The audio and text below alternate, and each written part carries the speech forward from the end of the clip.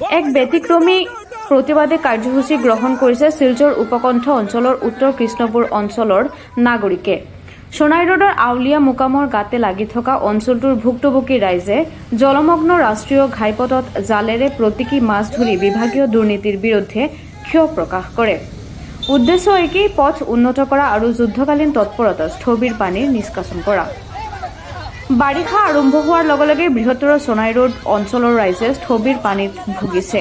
সাধাৰণ মানুহে শিলচৰ আইচলৰ পথৰ আঁঠু দৈৰ্ঘ্যৰ পানীৰ মাজেৰে যাতায়াত কৰিবলগীয়া হয়।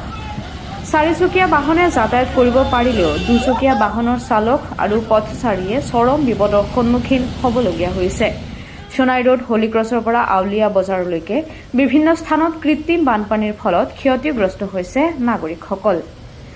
বিভিন্ন সময়ত এই সমস্যা সমাধানৰ বাবে আবেদন আনকি প্ৰতিবাদো চলি থকাৰ পিছতো তেওঁলোকৰ দুৰ্দশাৰ প্ৰতি একেবাৰে সমাধান হোৱা নাই।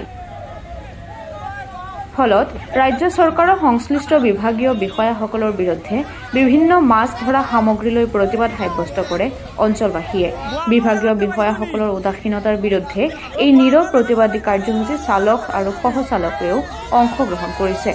স্থানীয় ৰাইজে কয় যে গোটেই অঞ্চলটোত পানী নিষ্কাশনৰ ব্যৱস্থাৰ অভাৱৰ বাবে এদিন বৰষুণৰ পিছত পথৰ বহু অংশ পানীৰে ডুব যায় আৰু তাৰ ফলস্বৰূপে বেছিভাগ অঞ্চলতেই পথত প্ৰকাণ্ড গাঁতৰ সৃষ্টি হৈছে। বেছিভাগ সময়তে পথটো বানপানীৰ বাবে গাঁতবোৰ দেখা নাযায়।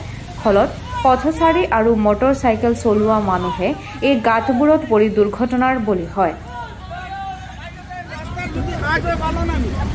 কত মন্ত্রী মিনিস্টার অকল বসুন মানে কত মন্ত্রী মিনিস্টার অকল ওই রাস্তাটা যায়। কত বেটাং স্কুটি লইয়া পড়ছো টুকটুকি লইয়া পড়ছো এই রাস্তার উপরে কত মোবাইল গেছে কত মানুষের গাড়ি নষ্ট হয়েছে কয়েকটা গাড়ি জেন্টি যদি ভালো লাগিয়া দিলেন রাস্তাটা ঠিক হয়ে যায় পাবলিক পরশুদিন আমি এল্টো লইয়া না তুমি আনলাম আমি এল্টো তুই আজ ভূত লইয়া মাছ মারা। যাইছি বরাকবেলির মাঝে ইলা ফিশারি নাই মেইন রোড ও যে একটা ফিশারি রেকর্ড করা কৃষ্ণপুর আউলিয়া টিল্লা মসুদের সামনে ফিশারি। মামকার বড়িয়া ফিশারি। মিনিস্টার মন্ত্রী কি জয় হো মিনিস্টার মন্ত্রী কি জয় হো তোরা ফেলন্দি মাছ মারি? মাছ মারো মাছ মারো। মাছ